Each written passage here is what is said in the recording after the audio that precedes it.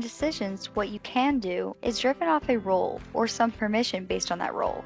There are three different roles or groups in decisions. An account can have permissions of the roles of an administrator, designer, or a user.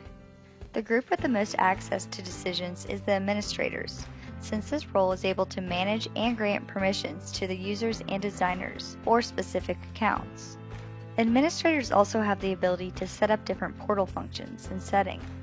This could be scheduling a job to run at specific dates or times, or even setting up database connections and integrations. Administrator accounts have access to pretty much do it all in Decisions. Currently, I am logged into an account with an administrator role, which is how I'm able to access the Systems folder, create new accounts, and determine roles and permissions. You will see that two more accounts are being created. One is grouped as a designer role, and the other is grouped as a user role. The designer role is focused around designing and building applications and decisions.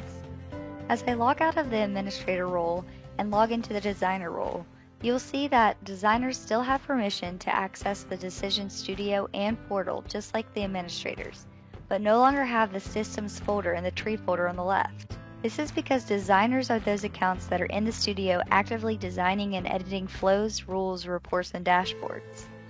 The most general role is the All Users group, which is also known as the end users.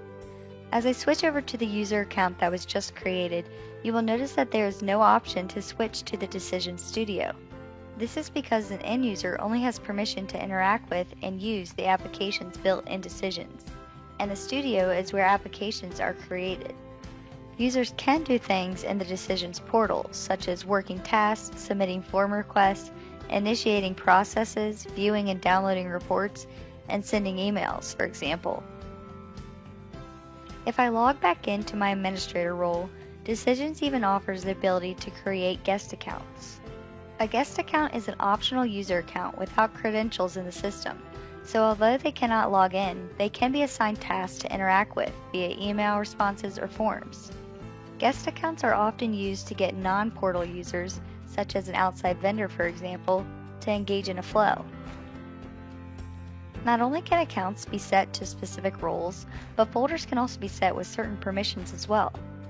Administrator roles have the ability to set permissions for any folder in Decisions. Each folder can be set up to only allow certain accounts or certain groups to access the folder and view the content. When specifying an account or group to have access to a folder, there are also options for different permissions that can be selected, such as just using the folder being able to edit the content in the folder, or even having permission to delete or add other entities to the folder. Overall, assigning different roles and permissions and decisions allows organizations to manage accounts and what tasks each position is able to do.